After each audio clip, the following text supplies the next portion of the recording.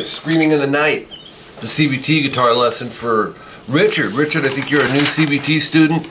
Uh, tuning is standard for this. I love this song. It's one of the first songs I heard from Krokus. It was this or Eat the Rich, and went and bought this album instantly. Headhunter. It's just great song, great guitar stuff, just awesome. So um, let's jump in. There's five pages of tabs here on this intro. I did my best to emulate with my tools here the, the effects and stuff, but we're going to start section 1A, and it's uh, clean, a little bit of fuzz in it, a little bit of dirt, but 8B with the open high E. This open high E is in here consistently. And then 7th fret B with the open E, hammer to 8B. And then back to 7 open, 8 open, and 7 8 7. And that open high E's with all of it. Back to the 8th fret. open. 7th fret, hammer 8. Back to 7. And then this one we change over to 3B with the open E of course. Slide to 5. And then pick the open high E. Go back to 3B with the open E, slide to 5, and then go back to 3 open BE. Okay, and then section 1B, 38 seconds in. I put them, you know, section 1A, 1B, 1C, if they were pretty much within the same section of the song. All right, so um, coming in here, 8B, and every time I say a note here, it's with an open high E, okay? So 8, 7th fret, hammer 8, back to 7. Remember, hammer, when you're, ha you're picking and slamming the finger down, right? I haven't heard you play yet, so back to seven. Eighth fret with the open. Hit the eighth again, but slide to ten. And then back to eight, seven, you'll go. The 10th fret high E. That's a hold. You'll see a darkened line on the top of your tabs. That, that way you don't go. You let this ring with it. Okay? Keeps it flowing. And then from there, uh, 7th fret, hammer to 8. Do that again two times. Back to the 7th fret. And then go 5th fret, B with the open. So our melody line, as you can see, is all on string 2, the B string. Go 5, 3, 3, slide to 5. And those lines in there uh, are your rests or your pauses. Third fret, let it ring a second, and then slide to five. And then back to third fret. Okay, section 1C. Now this is a little more distorted. So what I'm going to do is turn my dirt channel on, but turn the volume down because it's not full volume. Um, so what you want is uh, using a whammy bar on this 14D and then 12B open high E. And you want to just vibrato with the whammy bar. Okay, and then this here, you'll go open B, 14G, slide to 16. And then open B to 14G whammy vibrato. So it's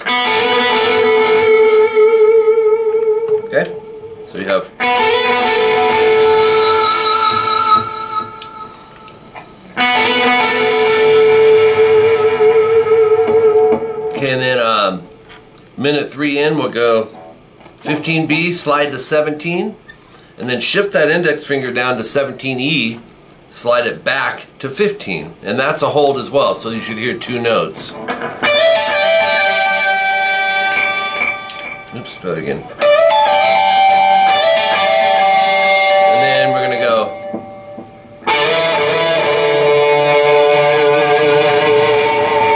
14G, 15B, slide to 16, 17. That's a whole step ascending bit, or slide twice. Back to 14, 15, whammy vibrato.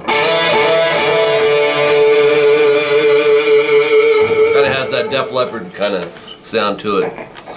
And then uh, natural harmonics, fret 12 on the last three strings, the E, the B, and the G. Natural harmonics. Pressure, but we're going to hit them all at the same time. So it'll be... And then um, you'll end with this. It's a B7 Bar the second fret, A, D, G, and B. Go 4D and 4B. Keep them knuckles coming down so you can clearly arpeggiate it. A, D, G, B. Okay, um, still clean stuff. We're back to clean here. And this is section 2. I believe it's the verse. 7A, 9D, 9G, and 8B. I would just bar the 7th fret. You'll see why. It goes...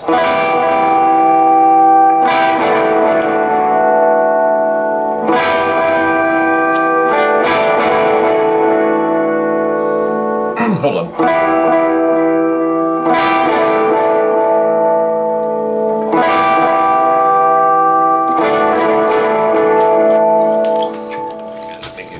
Adjustment. Those are all sevens end. Alright, so it's an E minor. Um, you'll strum, let it ring, and then strum it again, and just lift these three fingers off to where it's all the bar. 7th fret A, D, G, B. So you'll go. Three, four, back to the E minor, and then go sevens, come down, sevens. And then do all that again.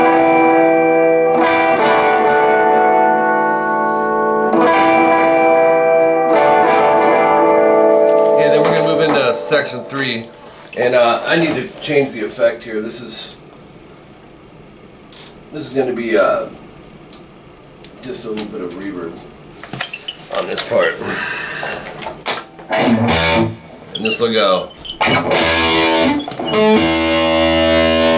This part I wanted to tell you, um, Richard, they're doing two things. Um, let me show you what I'm talking about. We're gonna go.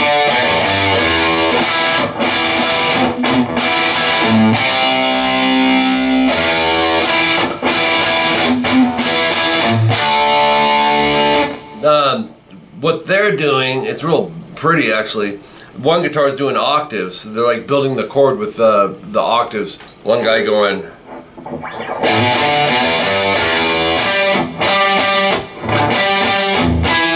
Some along those lines. The other one's like. Or. So, if you listen to it, you can hear kind of the octave thing happening. But I wanted to kind of conform it to one guitar that will sound full for you. Um, these notes are all consisting in them octaves anyways. Before we get to that, fifth fret on the low E, pick, hammer on to seven, and then go 5A. 7E, pull off to open, so pull off is the opposite of a hammer on. I'm just flicking it off the finger to 3E. To an open E. And then here comes our downbeat. That E minor I was showing you earlier, we're going to do that. 7, 9, 9, 8. A, D, G, B. You're going to strum, strum, strum. Um, string mutes. They pass quick. They're hard to hear sometimes, but they're in there. It's not palm muting. It's coming off these fingers. Just basically top three strings. Back to the E minor twice. To an open A, transitioning to a C major. 3A, 5th fret D, G, and B. You can use your third finger barring it or your pinky.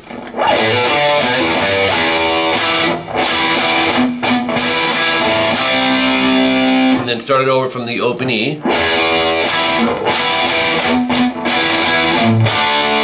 Only difference this time is um, that open A, the transition to the C major, is now going to be a palm muted open A to a D major, 577 ADG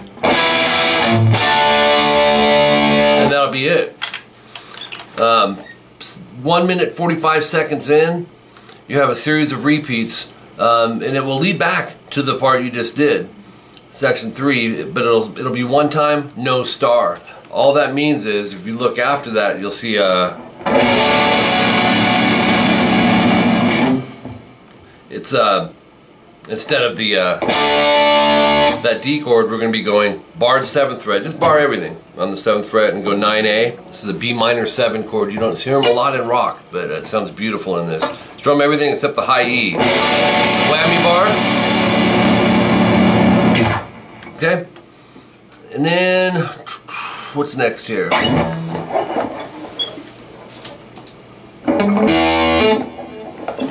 This part's really cool, and this is done dual guitars, you know, but.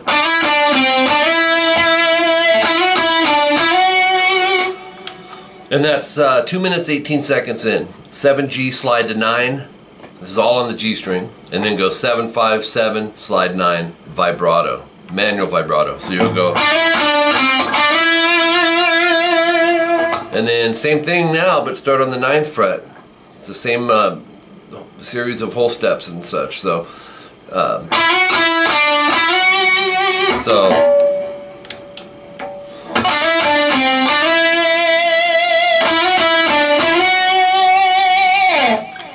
Then, the big old chorus here. It's E minor.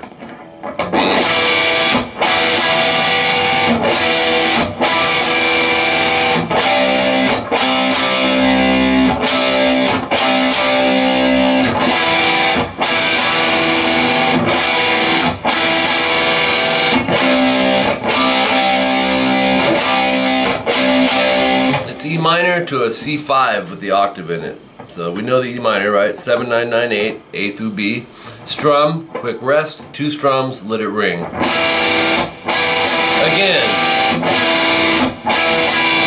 Do the same beat over the 8th fret E and then 10th fret A and D. You can bar that or you can use two fingers, doesn't matter. That's just a a C5 power chord with the octave in it. Goes two times, and then section 4C, 2 minutes 43 seconds in. This is cool. It goes.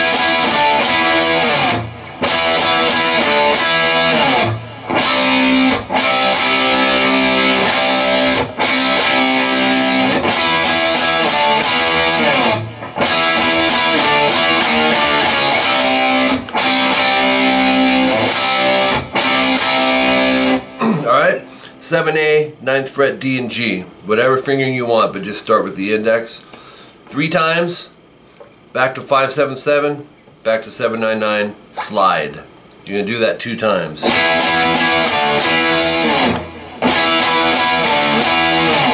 C major, it's a full C major. 3A, barred 5th fret D, G, and B. I use my third finger or my fourth, just varies. It's that beat we did earlier. Strum, strum, strum. Again. First part, one time. Matter of fact, it will be two times, but check it out. Here's the next one. Instead of sliding, go right into this, watch. You're just gonna chromatically, which means a half step at a time, one fret, move back. Seven, six, five, four. Okay, for that root. All power chords. And then uh, C major, actually a C5 power chord. 3A, 5th fret, D, G. Strum, strum, strum, two times.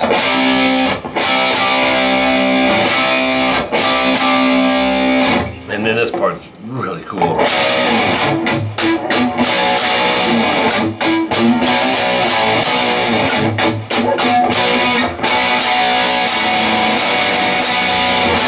Then that's going to lead us into the solo. 7E, 9A, 9D, and 8G. He's actually playing full major chords here. You'll, you'll strum those, slide it. String mutes once again, basically top four strings, down, up, down, up. Start working your way back up because you got to go back to that B major chord two times down. So then down, up, down. Then do this from the top string down 799. You're gonna slide to 810 and then go 799 to 577. Okay, and then you're right back to the B major, slide, four mutes, down, up, down, up.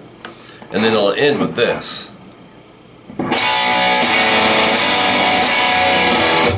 Alright, so 2A, barred 4th fret, D, G, and B. Use your pinky for the bar if you can, you'll see why. Strum. Do it again with an open A string.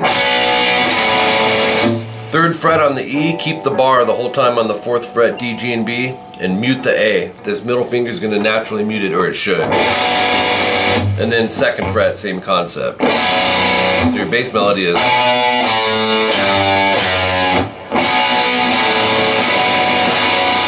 Beautiful. and then open E to A. I put that in parentheses because it's the downbeat um, of the solo.